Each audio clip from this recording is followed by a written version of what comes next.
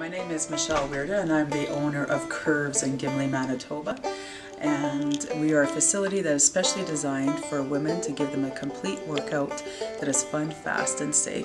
And we also help women set their goals and help them achieve whatever health goals that they want to and help them inspire them.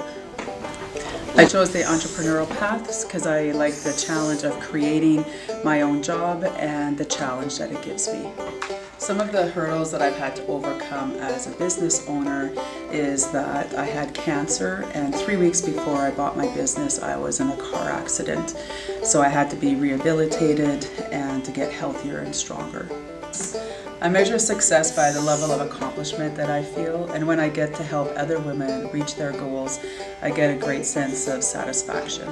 Being my own boss works for me because it gives me the flexibility of time, and being a single parent of five children, I can have the proper balance between family and work. The advice I would give other entrepreneurs with disabilities that want to start their own business is to be patient with yourself. Everything will take longer than what you thought and usually more money as well. And you will have low days and you will have good days. And so when they're low, just learn from it, reflect from it, and know that tomorrow is another day. The programs that helped me succeed and contributed to my success was the East Interlake Community Futures. I also used the Elevate program as well as the Self-Enhancement program.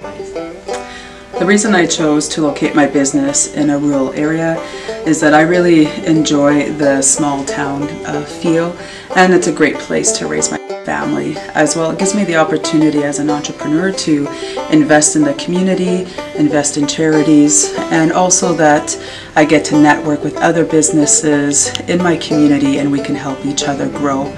And uh, I really enjoy that sense of community.